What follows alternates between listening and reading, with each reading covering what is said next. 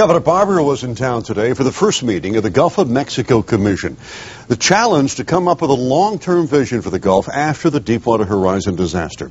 He said assembled there an impressive panel. The group of 34 includes a bank CEO, the former head of the state's largest private employer, five marine scientists, mayors from the coastal cities, and others. But it's who's not on the commission that caused a bit of an incident today.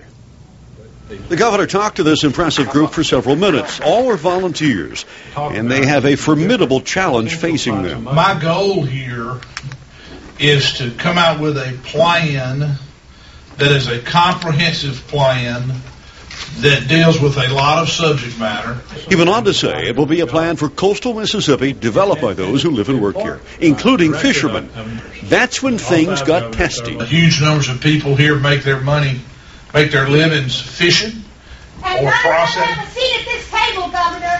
Please excuse me. Well, certainly, I'm ma'am, it's glad to see you. I you. apologize, Governor, but there is not a single commercial fisherman, not a single Vietnamese person, nor a single conservationist at this table. The back and forth between Linda St. Martin, who says she's an advocate for commercial fishermen, and the governor went on for at least five minutes. The governor tried to calmly thank her and move on.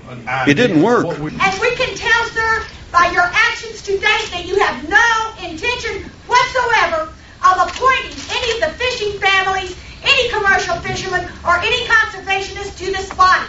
This body is bogus. A few other fishermen also spoke in a much calmer manner. Afterwards, the governor told us the idea of putting a commercial fisherman on this panel is a good one. I'm surprised there wasn't a commercial fisherman on there, but I, I knew we had a uh, fisherman on there, but it turns out he's a charter boat captain. So was an oversight then? or- Yeah, it was. And I think it's a good idea. As for the outburst during the meeting, the governor had this to say. That's one of the great things about Mississippians, and most of them are polite. And when somebody's not, catches us by surprise, that's all right. It's a look, she's a citizen, she's got a right to complain.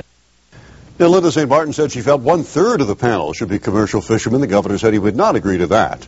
Uh, that entire five minute confrontation between Linda St. Martin and the governor can be seen on our website now at WLOX.com.